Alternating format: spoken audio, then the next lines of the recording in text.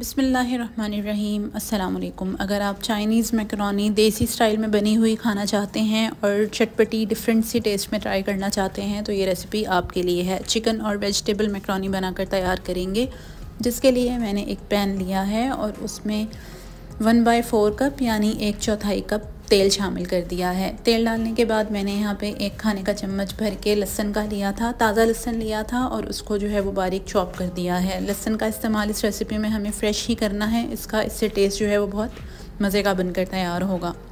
इस लहसन को हमें लाइट गोल्डन करना है, जैसे ही लहसन गोल्डन होना स्टार्ट होगा, हम इसमें एक कप प्याज शामिल कर देंगे। नॉर्मल प्याज लिया था और इसको मैंने जो है वो क्यूब्स में कट कर दिया है, जिस तरह से हम ऑमलेट की प्याज काटते हैं, उसी तरह से इसकी कटिंग की है, लेकिन ये थोड़े से मोटे चंक्स हैं। आप चाहें तो बारीक या मोटे, जिस तरह भी चाहें काट सकते हैं। इसको भी हम हल्का सा फ्राई करेंगे, प्याज सॉफ्ट हो जाएगा तो यहाँ मैंने चिकन लिया था, और चिकन को भी मैंने क्यूब्स में कट किया हुआ है, छोटे साइज़ के क्यूब्स हैं, और ये 400 ग्राम चिकन है बोनलेस चिकन डालने के बाद हमें इसको मीडियम हीट रखते हुए जो है वो अच्छे से पकाना है और इतना पकाना है कि चिकन का जो कलर है वो चेंज हो जाए और जो पानी इसमें से निकलेगा वो भी ड्राई हो जाए। मीडियम हीट पे हमें ये सारी कुकिंग करनी है, चूल्हा बहुत हल्का नहीं रखना है। तकरीबन तीन से चार मिनट लगेंगे ये चिकन का कलर चेंज होने में और इसका पानी ड्राई होने में। अब इस स्टेज पर हमें इसमें एक खाने का चम्मच भर के सिरका शामिल करना है। एक खाने का चम्मच हॉट सॉस या चिली सॉस शामिल करनी है। एक खाने का चम्मच भर के ही हमने इसमें सोया सॉस शामिल कर दिया है। साथ ही साथ एक चाय का चम्मच भर के मैंने इसमें काली मिर्च का शामिल किया है और एक चाय का चम्मच लेवल करके कुटी हुई लाल मिर्च का शामिल किया है। नमक मिर्चें आप अपने हिसाब से एडजस्ट करें, लेकिन ये थोड़ी सी चटपटी बनेगी तो मैंने इसमें लाल कुटी हुई मिर्चों का इस्तेमाल भी किया है और काली मिर्च का भी।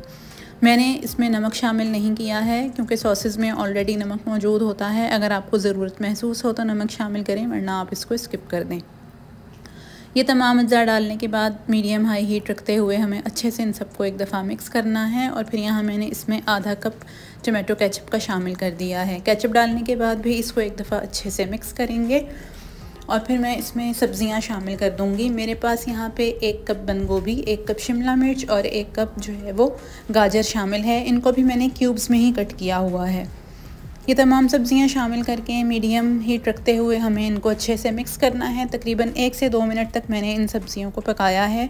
बहुत ज़्यादा सब्ज़ियों को सॉफ़्ट नहीं करना है, वरना इनका कलर भी ख़राब हो जाएगा और टेक्सचर भी बरकरार नहीं रहेगा। दो से तीन मिनट हमने इन सब्ज़ियों को पकाने के बाद इसमें चार कप उबली हुई मैक्रोनी जो है वो शामिल कर दी है। आप चाहें तो इसको कम या ज़्यादा अपने हिसाब से कर सकते मैक्रोनी शामिल करने के बाद इसको अच्छे से एक दफ़ा मिक्स करेंगे। मीडियम हीट रखते हुए ही हमें ये कुकिंग करनी है। अच्छे से ये मैक्रोनी मिक्स हो जाएगी। तो बस हमारी ये जो चाइनीज़ वेजिटेबल मैक्रोनी है, ये बनकर बिल्कुल तैयार है। बहुत ही मज़े की लजीज़ ये मैक्रोनी बनकर तैयार होती है। आप इसको एक दफ़ा ट्राई करेंगे तो मज़ा आ जाएगा आपको इस रेसिपी को ट्राई करने के बाद। आप हमारे चैनल पर नए हैं तो ये रेसिपी देखते हुए हमारे चैनल को सब्सक्राइब ज़रूर कर दें और इस रेसिपी को अपने फ्रेंड्स और फैमिली के साथ शेयर करना बिल्कुल ना भूलें। अच्छी तरह से मैक्रोनी मिक्स हो गई है और हमारी ये मैक्रोनी बिल्कुल तैयार इस रेसिपी को ट्राई करें, हमें अपने फ़ीडबैक से आगाह करें। अल्लाह ताला हमारे और आपके रिस्क में बहुत ज़्यादा बरकत, रहमत अता फ़रमाए। मज़ीद नई रेसिपीज़ के साथ हाज़िर होंगे, तब तक के लिए अल्लाह हाफिज़।